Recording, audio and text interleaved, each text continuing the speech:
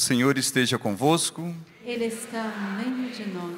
Proclamação do Evangelho de Jesus Cristo, segundo Mateus. Glória a vós, Senhor. Naquele tempo, Jesus viu um homem chamado Mateus sentado na coleteria de impostos e disse-lhe: Segue-me. Ele se levantou e seguiu a Jesus. Enquanto Jesus estava à mesa em casa de Mateus, vieram muitos cobradores de impostos e pecadores e sentaram-se à mesa com Jesus e seus discípulos. Alguns fariseus viram isso e perguntaram aos discípulos: Por que vosso mestre come com os cobradores de impostos e pecadores? Jesus ouviu a pergunta e respondeu: Aqueles que têm saúde não precisam de médico, mas sim os doentes. Aprendei, pois, o que significa: quero misericórdia e não sacrifício. De fato, eu não vim para chamar os justos, mas os pecadores. Palavra da salvação. Glória a vós, Senhor. Aleluia.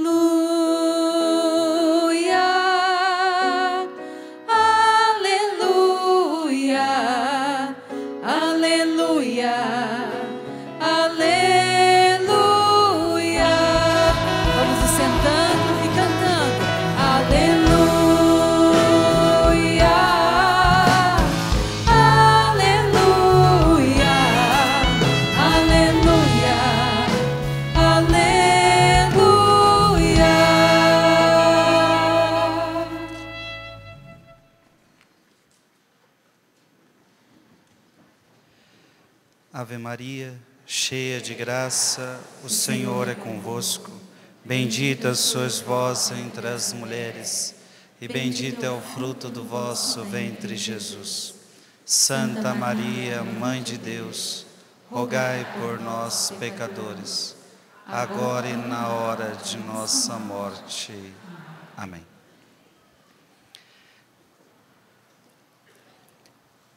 Primeiramente, é, ver essa missa aqui, faz tempo que aqui não celebro. Eu me lembro que aqui foi o lugar onde eu celebrei uma das minhas primeiras missas, aqui neste rincão. E ver esse rincão cheio sempre me recorda o meu passado de quando adolescente vinha aqui. E via neste palco o Padre Jonas Abib pregando. Então, vi a foto dele ali, me recordei deste passado, de ver Padre Jonas, Padre Léo aqui em cima, pregando aqui neste palco. E hoje eu sei que os dois intercedem por nós, não é verdade? Tenho certeza disso.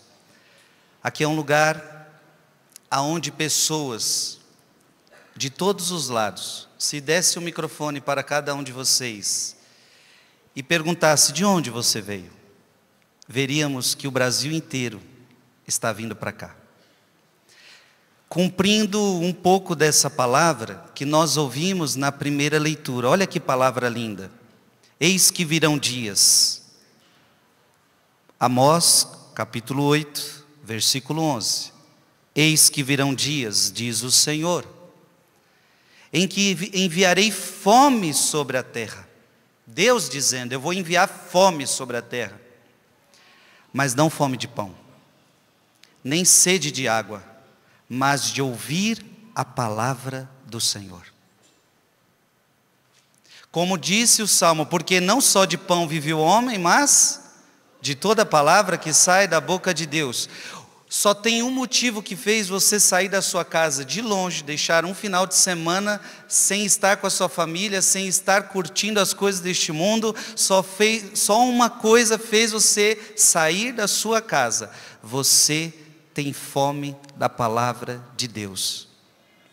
E você veio à canção nova porque você sabe que aqui você vai encontrar o alimento da palavra de Deus para sua alma. Amém? Amém.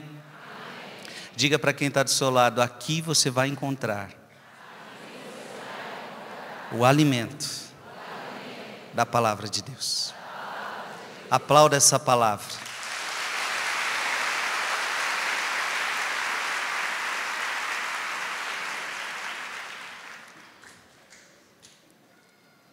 Abra sua Bíblia em Mateus capítulo 9.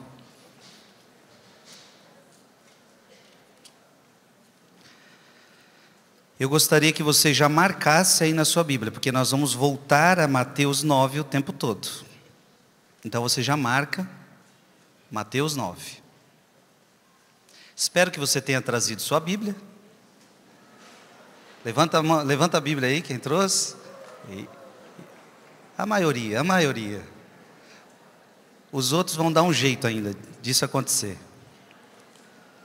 Ah, mas é missa, Frei. Eu não estou acostumado a trazer com o Frei Gilson agora nas missas também. Traz Bíblia. Mateus capítulo 9, versículo 9. Antes de lermos, o nosso retiro é sobre caminho de perfeição. Então, meus queridos, o que, que vai acontecer nesses três dias? Nesses três dias, Deus vai nos mostrar qual é o caminho que nós temos que percorrer para alcançarmos a perfeição. Portanto, vai ser um acampamento lindo, vai ser um acampamento maravilhoso. Obviamente, algumas pessoas podem ter atrelado o título do evento e não posso dizer que nós não nos espelhamos, nos inspiramos nisso, que foi naquele grande livro de Terezinha, de Teresa Dávila, Caminho de Perfeição, de Teresa Dávila. Esses três dias não, não faremos meditações próprias de Teresa Dávila, do seu livro Caminho de Perfeição. Mas é um livro, sem dúvida alguma, que todo cristão valeria a pena ler. Nós vamos tratar de outras temáticas as quais Deus inspirou-nos. Mas veja que lindo, você vai entender qual é o caminho que você tem que percorrer para ser santo. Qual é o caminho que você tem que percorrer para você ser perfeito? E se você veio aqui, é porque você quer descobrir qual é esse caminho. Sim ou não? Diga comigo bem forte: Eu quero, Frei. Descobrir, qual é o caminho para chegar à perfeição. Veja, você, você para atingir a meta, você precisa saber qual é o caminho, é. Para chegar à canção nova, você precisa saber que caminho você faria. Sim ou não? Não adianta você querer vir para a canção nova e ir para outra direção. Às vezes você não sabia qual era o caminho, você colocou no seu Waze, você colocou no seu Google Maps, eu não sei como é que é, mas aqui vai, eu sei que vai fazer eu chegar lá. Nós vamos dar para você uma trilha. Nós iremos dar a você um caminho. E se você estiver com o coração aberto, ouvidos atentos, Deus vai mostrar para você qual é o caminho para você chegar à santidade. Amém? Amém? E o mais bonito é que, no fundo, nós vamos apresentar um caminho universal, mas cada um aqui tem o seu próprio caminho. É importante a gente entender isto, que a santidade não é um caminho igual para todo mundo. Eu não posso querer ser Padre Jonas Abib, eu não sou Padre Jonas Abib. Eu não posso querer ser Francisco de Assis, eu não sou Francisco de Assis. Eu não posso querer ser Padre Pio, eu não sou Padre Pio. O jeito que Deus vai fazer comigo é só para o Frei Gilson. O caminho de perfeição que Deus trilhou para o Frei Gilson é só para mim, pessoal, personalizado, único. Mas todos temos um caminho universal a percorrer. E depois cada um vai seguir esse caminho à sua maneira, a maneira que Deus orientar você. Amém? Amém? E aí, a liturgia de hoje nos apresenta Mateus. E portanto, o tema dessa pregação já vai ser esse. E vai nos dar uma grande introdução ao nosso retiro. Veremos o caminho de perfeição em São Mateus. Veremos como Mateus chegou a esse caminho de perfeição. E o caminho de Mateus vai nos dar dicas. O caminho de São Mateus vai nos dar orientações, porque o, o caminho que Mateus fez é o caminho que também nós precisamos fazer. Amém. Mateus capítulo 9 versículo 9. O que está escrito aí? Partindo dali, Jesus viu um homem chamado Mateus que estava sentado no posto do pagamento das taxas. Disse-lhe: Segue-me. O homem levantou-se e o seguiu. A perfeição começa com o chamado de Jesus para nós. Veja, Mateus está em outro caminho. Mateus está no caminho de pecado, inclusive. Quando a Bíblia diz que Mateus estava na coletoria de impostos, a Bíblia está dizendo Mateus estava num caminho de pecado. Porque ser cobrador de imposto naquela época, da forma que eles faziam, era igual a ladrão. Era igual a uma pessoa que subjugava as outras. Não era bem vista na época, inclusive. Veja, Jesus está chamando Mateus para sair de um caminho de pecado para segui-lo. E portanto eu tenho que dizer isso a você: o caminho de perfeição começa com o chamado de Jesus para nós.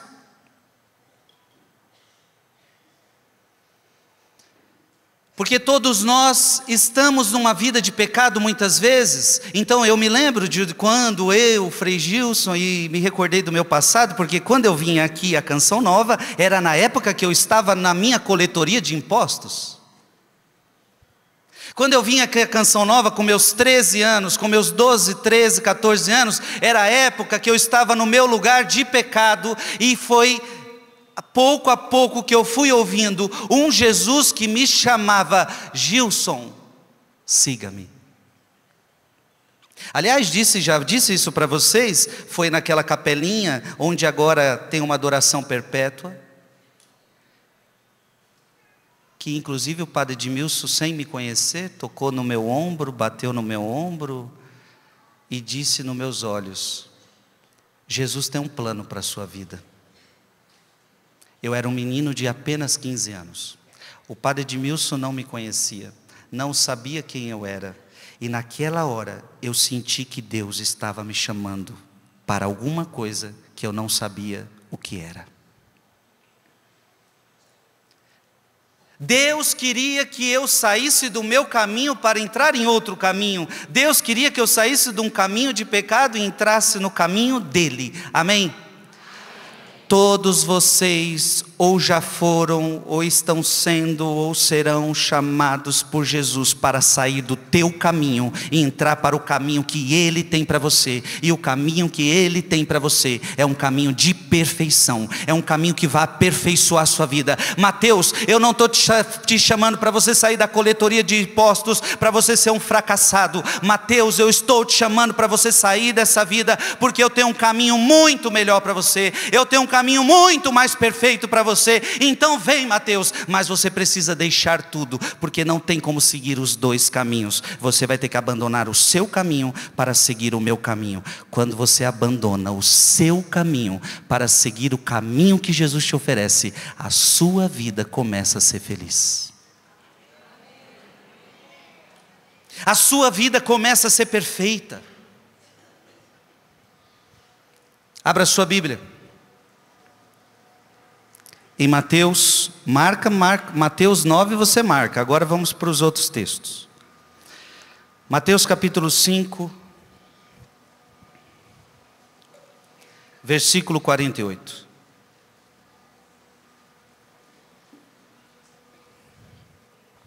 Mateus capítulo 5, versículo 48. O chamado de Deus para todos nós está aqui. Que, que está escrito na sua Bíblia? Portanto, sede perfeitos, assim como vosso Pai Celeste é perfeito. Diga mais forte, portanto, assim como vosso Pai Celeste é perfeito. Veja, isso é um chamado, é um chamado para todos nós, o chamado à perfeição. Então vamos parar com esse negócio. Eu sou assim, Deus me fez assim, eu vou morrer assim. Morrer assim como? Chato, linguarudo, beberrão, adúltero, ladrão.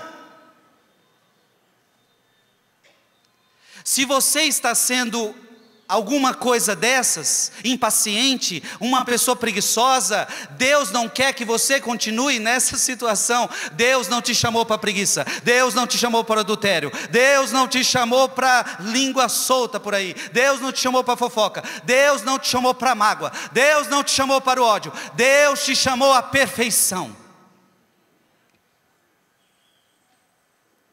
Se você não está conseguindo ser isso, é outra coisa. Se você até hoje não atingiu a perfeição, é outra coisa. Aliás, nenhum de nós aqui chegou à perfeição. Seria muito orgulho da nossa parte, qualquer um de nós aqui, e dizer: cheguei à perfeição. Se não chegamos à perfeição, isso não significa que o nosso caminho a nossa meta não continua sendo essa. Está entendendo sim ou não? Diga comigo, o meu chamado é a perfeição. E você sabe quando é que começou esse chamado? Quando é que começou? No batismo? Eu digo para você que foi muito antes do seu batismo. Abra sua Bíblia e vou lhe provar. Abra sua Bíblia em Efésios capítulo 1.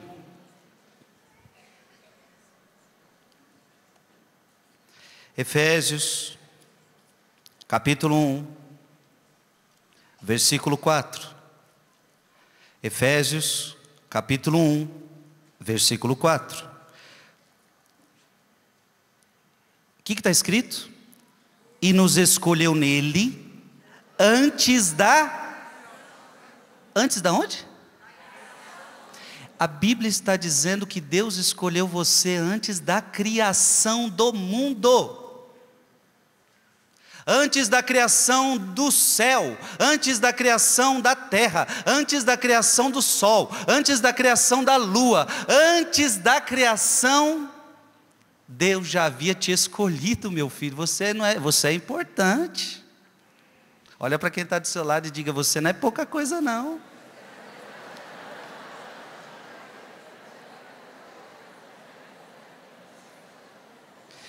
Vamos lá, leia comigo e nos escolheu nele antes da criação do mundo. Agora eu quero que você repita, porque tem muita gente sem Bíblia aí. E no, diga comigo, e nos escolheu nele. Antes da criação do mundo. Para sermos santos. Diga forte, para sermos santos. E irrepreensíveis diante de seus olhos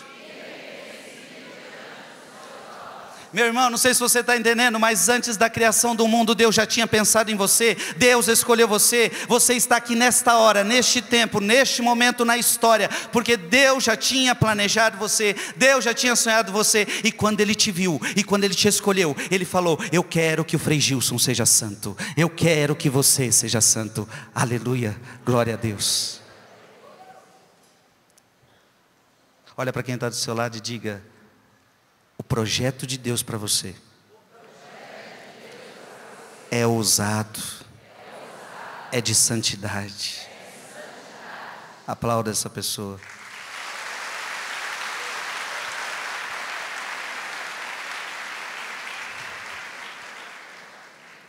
Quem quer então realizar o chamado de Deus para a sua vida, diga eu. Ah, mas você vai ter que fazer o que Mateus fez. Vá para a sua Bíblia em Mateus capítulo 9. Volta, Mateus. Mateus capítulo 9.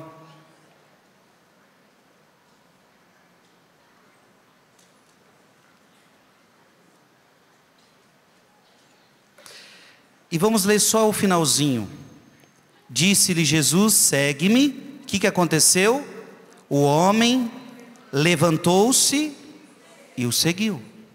Se Mateus levantou e seguiu Jesus, significa que ele teve que abandonar a coletoria de impostos. Meus irmãos e minhas irmãs, para seguir o caminho de Deus, eu preciso abandonar o meu caminho. Amém? Para seguir o caminho novo, eu preciso abandonar o caminho velho. Para, para seguir o caminho que Deus me propõe, eu preciso abandonar as coisas velhas. Abra sua Bíblia em Efésios, capítulo 4. Efésios, capítulo 4.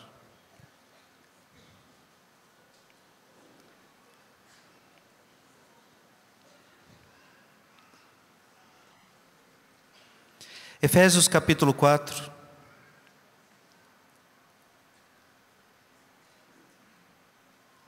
Versículo 22. Efésios 4, 22. O que, que está escrito aí? Renunciai à vida passada. Para aí, para aí, para aí. Renunciai à vida passada. Se você quiser seguir o caminho de perfeição, você tem que abandonar a vida passada. O Frei Gilson, eu falei dos meus 12, 13, 14 anos, eu, eu estava entendendo que Jesus estava me chamando para segui-lo. E a primeira coisa que eu entendi é: você quer me seguir, Gilson? Você vai ter que abandonar a vida passada. Não dá para ficar na vida passada e querer ter a vida com Deus. Não dá. Para seguir um caminho novo, você tem que abandonar as coisas velhas. Amém.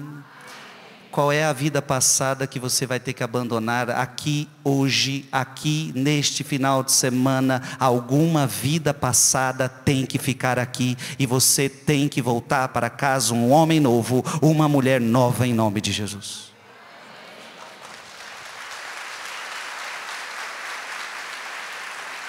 Diga comigo bem forte: eu preciso renunciar à vida passada. Mateus teve que abandonar a coletoria de impostos, e você? Tem que abandonar o seu adultério? Tem que abandonar a sua traição? Tem que abandonar a pornografia? Tem que abandonar a mentira? Tem que abandonar o sexo fora do casamento? Eu não sei o que você tem que abandonar, eu sei o que eu preciso abandonar. Segue o texto. Efésios 4, 22. Renunciai à vida passada. Olha que bonito isso. Despojai-vos do homem velho. Então o que, que significa renunciar à vida passada? Não é desfazer tua história. Não é desfazer quem você é ou quem você era. Desfazer, renunciar à vida passada significa se despojar do homem velho. E o homem velho é o homem de pecado. Despojai-vos do homem velho, corrompido pelas concupiscências enganadoras. Este homem velho tem que ser jogado fora. Mateus, você foi enganado. Você foi enganado pela cobiça. Mateus, você foi enganado pela fraude. Mateus, você foi enganado por este pecado. Então você tem que abandonar a vida passada. Você foi enganado por este adultério. Você tem que abandonar o adultério. Você foi enganado com essa fofoca. Você precisa abandonar essa fofoca.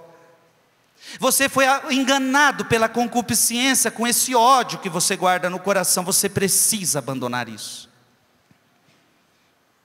Segue o texto renovai a vossa, renovai sem cessar o sentimento da vossa alma. E o que? Leia comigo. E revestivos do homem novo, criado à imagem de Deus em verdadeira justiça e santidade. Ou seja, volte ao seu estado original. Você foi criado à imagem e semelhança de Deus. Volte à santidade para a qual Deus te chamou, volte à santidade para a qual Deus te escolheu, mas para isso renuncie à vida passada. Mas para isso despojai-vos do homem velho e revesti-vos do homem novo. Veja, não, adianta abandonar sua vida passada, é preciso se revestir do homem novo. Está entendendo sim ou não? A coisa é séria, sim ou não?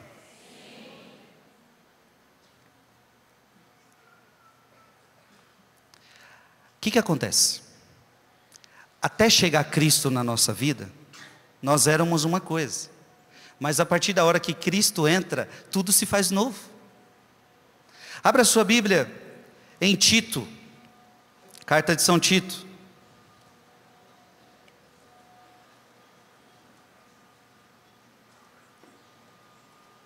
Tito, capítulo 3, versículo de 3 a 5. Tito, capítulo 3, versículo de 3 a 5. O que, que está escrito aí? Leia comigo. Porque também nós outrora éramos insensatos. Olha, antes de Cristo entrar na minha vida, ora, outrora, outrora, na vida passada éramos o quê? insensatos, rebeldes. Quem aqui já não foi rebelde, hein? Levanta a mão aqui quem já foi rebelde. Eu. Só que preste atenção, isso antes de Cristo aparecer.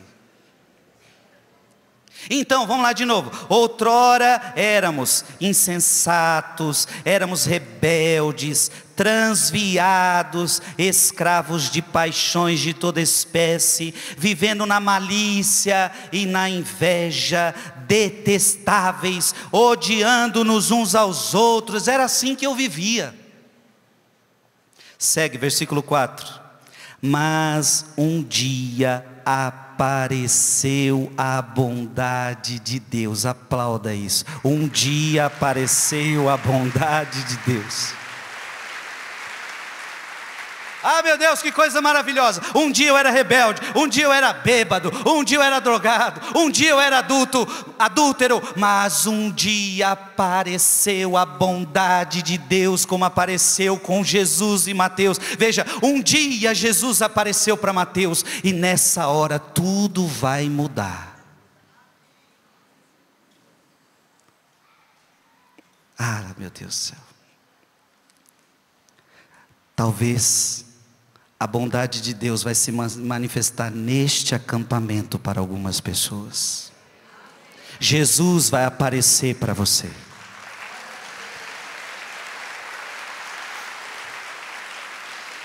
Jesus vai aparecer para você como apareceu para Mateus, Jesus vai aparecer para você como apareceu para Saulo de Tarso, Jesus aparece para nós, e nesse dia a bondade de Deus se manifestou. E o que, que aconteceu? Leia aí. Mas um dia apareceu a bondade de Deus, nosso Salvador, e seu amor para com os homens. E seu amor para com os homens e não por causa da, de obras de justiça que tivéssemos praticado. Não fizemos nada, mas unicamente em virtude de Sua misericórdia. Ele nos salvou mediante o batismo da regeneração e renovação pelo Espírito Santo. Aplauda essa palavra.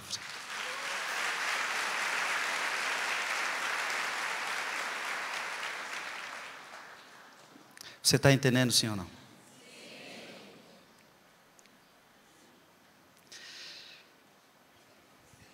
Volte para Mateus, capítulo 9, versículo 10.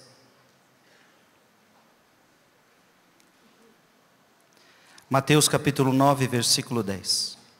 Como Jesus estivesse à mesa na casa desse homem, numerosos publicanos e pecadores vieram e sentaram-se com ele e seus discípulos. Vemos nessa palavra que Jesus come com os pecadores. Veja, Jesus come com os pecadores, tanto é que ele vai ser criticado por causa disso. E Jesus nos dá um ensinamento de que o caminho de perfeição não é se afastar do mundo a qual a gente vive. Então, uma coisa eu já te deixo tranquilo: você não vai ter que entrar numa nave espacial e ir para um outro lugar, porque aqui não dá para ser santo. Eu quero dizer para você que o caminho de santidade vai acontecer nessa terra, vai acontecer onde você mora, onde você trabalha, aqui, neste lugar, neste ambiente, você vai ser santo. Você vai. Olha que interessante. Então, santidade não é tirar a gente. Não, eu nunca vou conseguir ser santo num mundo tão pecador como esse. Não, não, não, não. Olhe todos os santos da história e você verá que eles foram santos no tempo em que eles viveram, no mundo em que eles viveram, e nós também seremos assim. Na sua casa, no seu trabalho, do jeito que as coisas estão, você vai ser santo. Essa é a sua meta. Amém. Abra a sua Bíblia em João capítulo 17. E nós vamos provar isso. João, capítulo 17.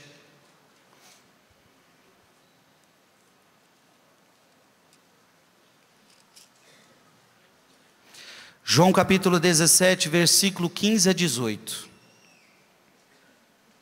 É o próprio Jesus, é o próprio Jesus quem vai falar. E olha o que, que ele diz. João 17, 15. Não peço que os tire do mundo. Olha que interessante, Jesus rezando por nós e falando: não os tire do mundo, mas sim que os preserves do mal. Eles não são do mundo, como também eu não sou do mundo. Santifica-os pela verdade, a tua palavra é verdade. Então preste atenção: Jesus orou por nós e falou que não era para nos tirar do mundo. Abra sua Bíblia, em Mateus capítulo 5. Mateus capítulo 5. E por que que você não pode sair deste mundo? E por que que para sermos santos, nós deveríamos todo mundo sair daqui, porque este mundo é muito pecador. Não, não, não, não, não, não, não. Não os tire do mundo. Agora abra sua Bíblia, Mateus capítulo 5, versículo 14 a 16. Mateus 5, 14 a 16. O que, que está escrito aí? Vós sois a luz do mundo. Não se pode esconder uma cidade situada sobre uma montanha, nem se acende uma luz para colocá-la debaixo do alqueire, mas sim para colocá-la sobre o candeeiro, a fim de que brilhe a todos os que estão em casa. Assim brilhe vossa luz diante dos homens. Então o que Deus está falando para você é: eu não vou te tirar do mundo, pelo contrário, eu quero que a tua luz de santidade, de verdade, brilhe na sua casa, brilhe no seu trabalho e brilhe neste mundo.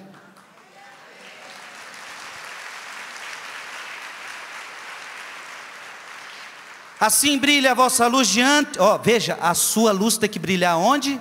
Diante dos homens, para que vejam as boas obras e glorifiquem vosso Pai que está nos céus. Então, o que Deus está falando para mim, está falando para você é o seguinte: eu quero que você seja santo neste mundo, e a tua santidade vai impactar o lugar que você mora, a tua santidade vai impactar o lugar onde você trabalha, a tua santidade vai impactar as gerações.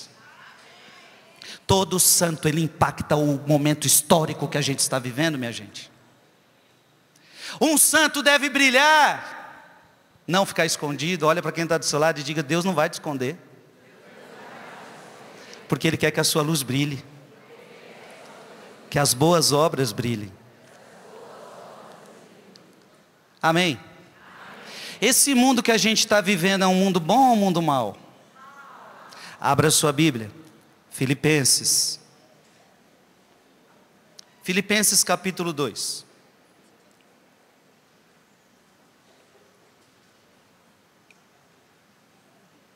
Filipenses capítulo 2, versículo 14.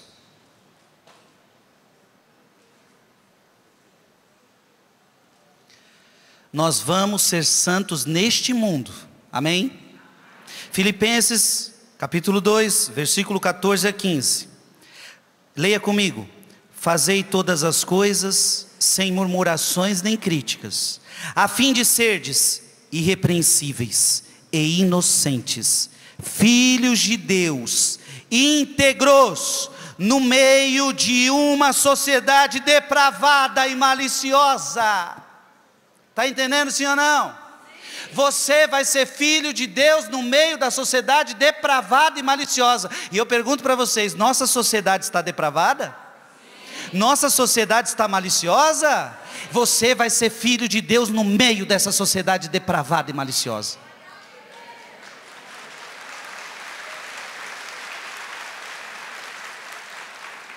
Eu sei que todas as eras tiveram depravações, mas talvez estamos chegando ao auge da depravação. O auge da depravação, porque ela está estampada em tudo que é canto e nunca foi tão acessível. Porque antigamente tinha depravação, só que não era acessível. A depravação não era acessível a crianças, a depravação não era acessível a adolescentes, a, a depravação era, era de alguns. Hoje nós vivemos num mundo onde a depravação ela está acessível, pasmem, inclusive a crianças. Você vai ser filho de Deus numa sociedade maliciosa, você vai ser filho de Deus numa sociedade depravada. Continua lendo. Filipenses capítulo 2, versículo 15. Filhos de Deus íntegros no meio de uma sociedade de depravada e maliciosa, onde brilhais como luzeiros no mundo. Olha que lindo. Você vai brilhar, você vai ser luz neste mundo. Enquanto tantos fazem o mal, você vai fazer o bem. Amém. Diga comigo, pode contar comigo, Senhor. Erga tua mão direita e diga: Eu quero ser luz para essa sociedade. Eu quero ser luz na minha família. Amém. Mateus capítulo 9, versículo 11. Mateus capítulo 9, versículo 11. Vendo isso, os fariseus disseram aos discípulos: Por que come vosso mestre com os publicanos e com os pecadores? Os fariseus começam a criticar, a criticar Jesus. Como pode ele estar comendo com um pecador? Veja, aqueles fariseus desconhecem algo que é inédito em Jesus. O chamado de Deus não tem nada a ver com seus méritos. O chamado de Deus tem a ver com a graça dele na sua vida. Mas Mateus é um pecador, eu sei que ele é pecador, mas não tem nada a ver com os méritos dele. Eu chamo por misericórdia, eu chamo por graça. Então já quero dizer a todos vocês: se todos vocês estão aqui, inclusive o que vos fala, estamos aqui, não é porque fizemos nada para merecer, é porque alguém nos olhou, nos viu e nos chamou por pura graça e misericórdia da sua parte. Pura graça. Pura misericórdia. Pode aplaudir porque isso é graça, isso é misericórdia.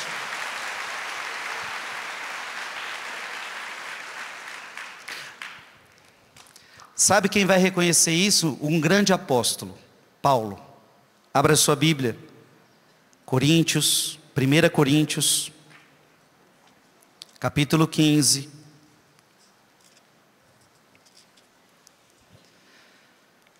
1 Coríntios capítulo 15, versículo de 9 a 10.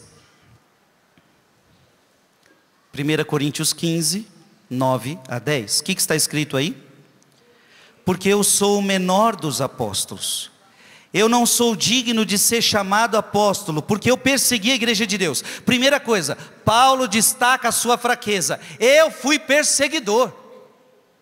Eu, eu, eu coloquei gente presa, eu aceitei a matança de cristãos, eu persegui. Primeiro dado, a sua fraqueza. Segundo, versículo 10. Mas pela graça de Deus eu sou o que sou, e a graça que Ele me deu não tem sido inútil. Então Paulo reconhece o seguinte: eu não estou aqui pelos meus méritos. Eu era um perseguidor. Eu estou aqui, eu sou o que sou pela graça de Deus. Vamos dizer todo mundo junto? Eu sou o que sou pela graça de Deus. Ah, que coisa bonita.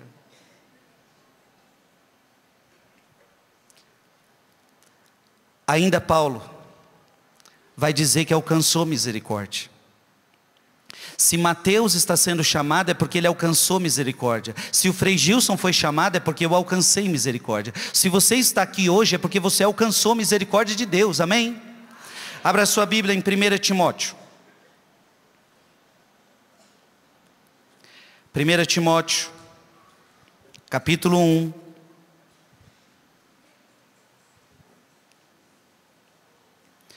Primeira Timóteo capítulo 1, versículo de 12 a 14.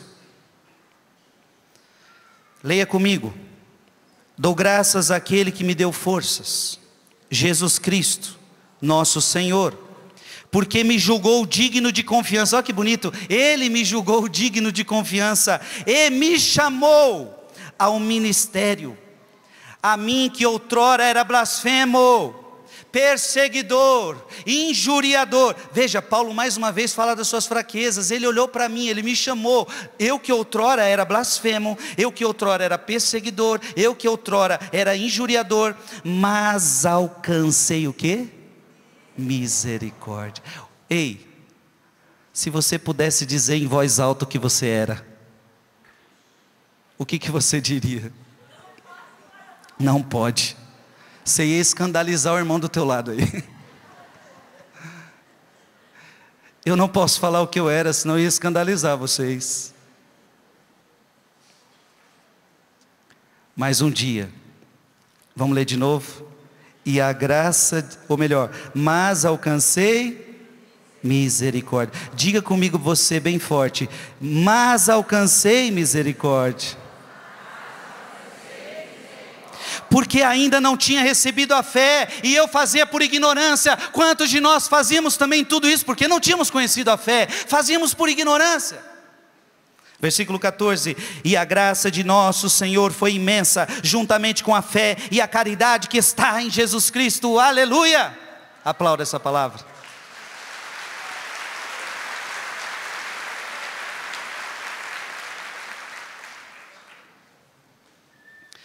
Já que estamos em Timóteo, vai para 2 Timóteo.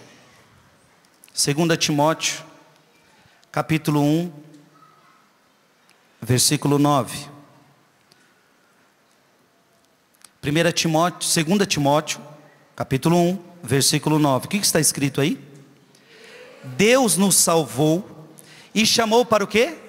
Para a santidade não em atenção às nossas obras, mas em virtude de seu desígnio, da graça que desde a eternidade nos destinou em Jesus Cristo. E Paulo relembra Efésios capítulo 1, versículo 4, que a gente acabou de reler.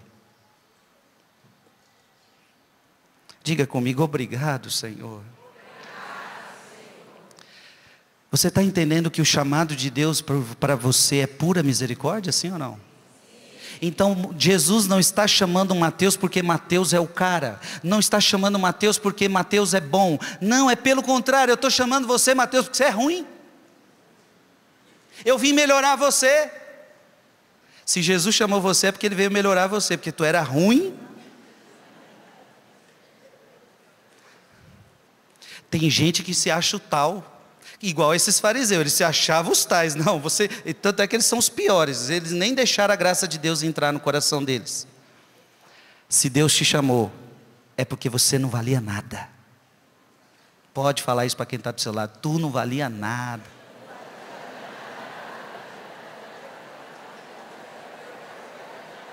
Diga para ele, você não era flor que se cheira, eu sei.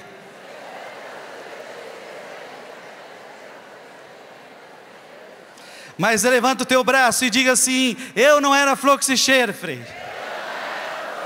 Mas um dia, Ele me olhou, Ele me chamou, e a Sua misericórdia me alcançou. Ah, glória a Deus.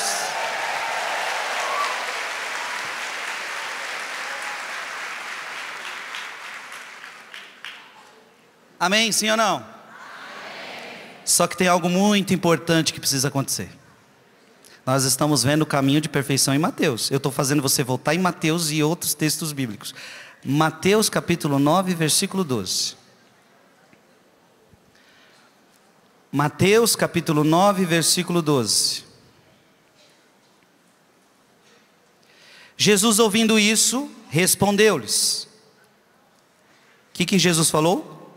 Não são os que estão bem que precisam de médico, mas sim os doentes. Ah, aqui tem uma coisa importante. Preste atenção, abre os ouvidos, abre o coração.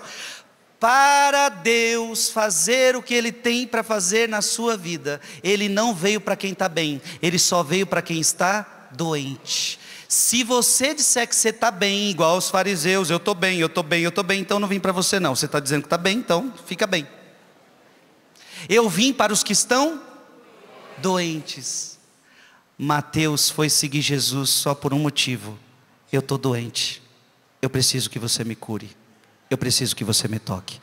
Frei Gilson só é padre hoje porque um dia eu reconheci que eu estava tão doente, tão doente, e eu deixei a vida passada e comecei a seguir Jesus para que ele me curasse.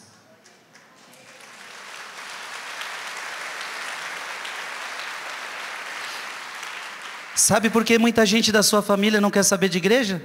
Sabe por quê? Tem gente da sua família que não vai para a igreja, sim ou não? Poucos ou muitos? É porque eles não estão doentes. Eles acham que eles não estão doentes. Eles acham que eles estão bem.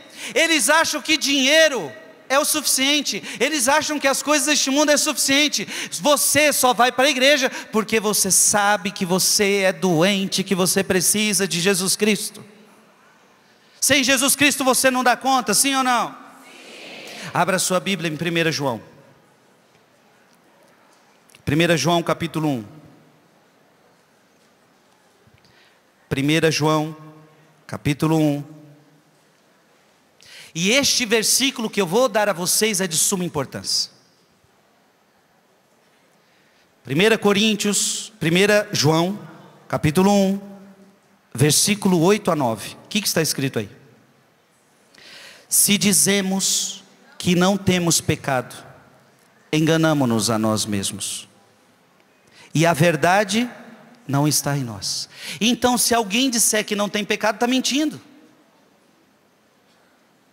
Quantas pessoas da sua família, a minha vida está boa, precisa de nada, não. Agora, versículo 9 é importante se reconhecemos os nossos pecados, o que, que acontece se eu dizer para Deus os meus pecados? Deus vai me tacar no inferno? Se eu disser para Deus assim, Deus, eu sou um grande pecador, Deus vai me colocar no inferno?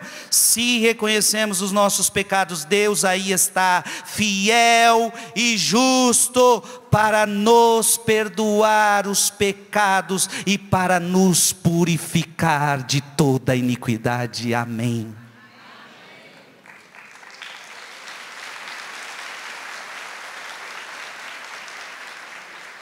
Se você esconde, se você diz que você é bom, Deus não vai purificar você. Se você diz que está doente, se você diz que tem pecado, se você reconhece, sou adúltero, sou ladrão, sou, sou malicioso, sou fofoqueiro, sou invejoso, sou preguiçoso, sou orgulhoso. Se você reconhecer, Deus vai purificar você do seu pecado. Portanto, se alguém precisa, nunca se esqueça, vá para o confessionário, Lá é o lugar de você confessar a Deus os teus pecados e sair limpo. A confissão é o lugar dos doentes. O doente chega lá, todo ferido, machucado, conta os seus pecados, reconhece seus pecados. E quando você sai da confissão, você sai sarado em nome de Jesus. Quantas vezes você já foi para o médico, você reconheceu sua doença, você falou, médico, eu estou com isso, eu estou com dor, não queria vir aqui não, mas vim. A mulher mandou, não sei quem mandou, eu vim. Não queria reconhecer, mas reconheceu, foi lá, o médico não resolveu o teu problema. Já aconteceu sim ou não? Passou remédio, passou isso, passou aquilo, não resolveu. Eu te garanto, toda vez que você entrar no confessionário, ferido, doente, machucado, se for de coração, você sempre encontrará a cura para a sua doença. Sempre, sempre. Ele é o médico dos médicos.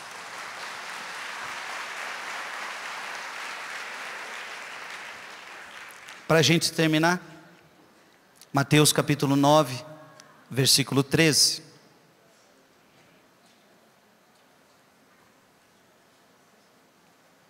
Mateus capítulo 9, versículo 13. E de aprender o que significam estas palavras, eu quero a misericórdia, não o sacrifício. E aí o que, que Jesus diz aí? Leia comigo.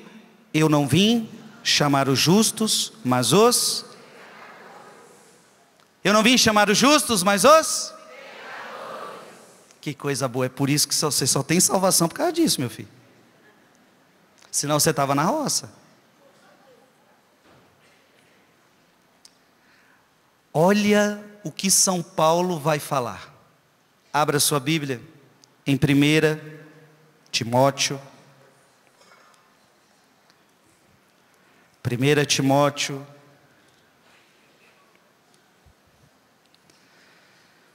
Primeira Timóteo capítulo 1. Jesus veio para quem? Para os pecadores. Portanto, não tenha medo de dizer que você é um pecador. 1 Timóteo capítulo 1, versículo 15.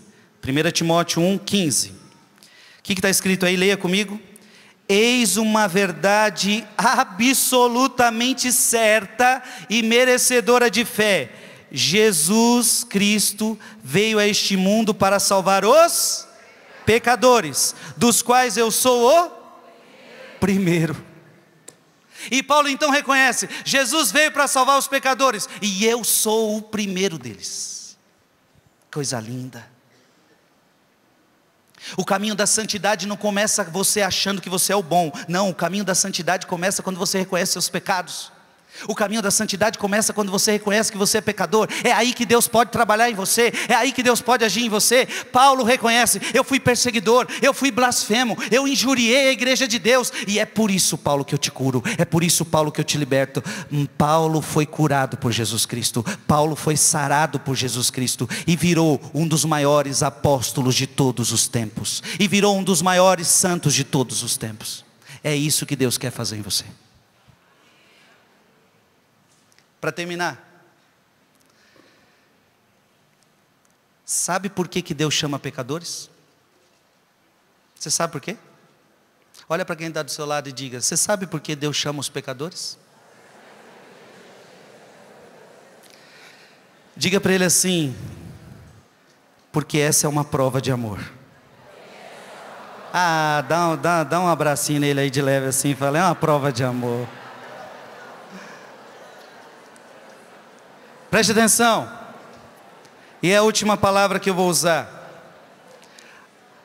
Abra sua Bíblia em Romanos. E quando você ouvir essa palavra, eu quero que você aplauda essa palavra. Romanos, capítulo 5.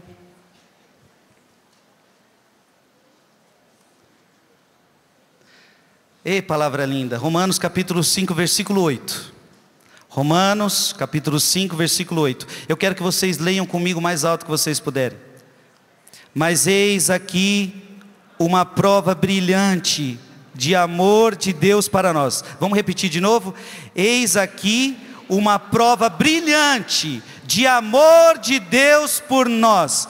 Quando éramos ainda pecadores, Cristo morreu por nós.